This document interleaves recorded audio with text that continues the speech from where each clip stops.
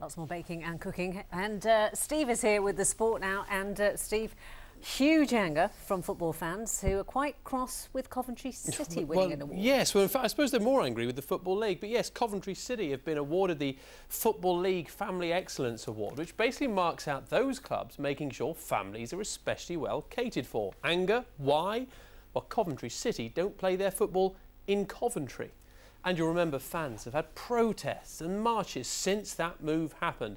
Another demo is planned for July. Coventry moved to Sixfields after a fallout over unpaid rent at the stadium they used in Coventry. So every home game is now 35 miles away in Northampton.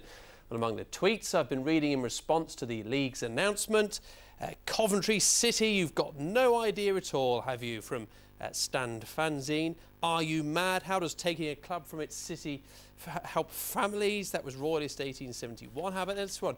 Uh, please, please tell me this is a joke. Coventry City were taken 35 miles away from families that had watched for years. That was Mike Smith, 1987. That's just a flavour, and they were the cleanest ones I, I could give you. Uh, well, you look at the criteria for the award, it is perhaps surprising to see one of those is indeed vicinity of the stadium. One can only assume that means to the general state of the area rather than actually being accessible for local Coventry City fans. OK, so why did they get the award? OK, right. Well, it's selected families that were asked to judge uh, various elements of visiting football grounds. And here I think is the key.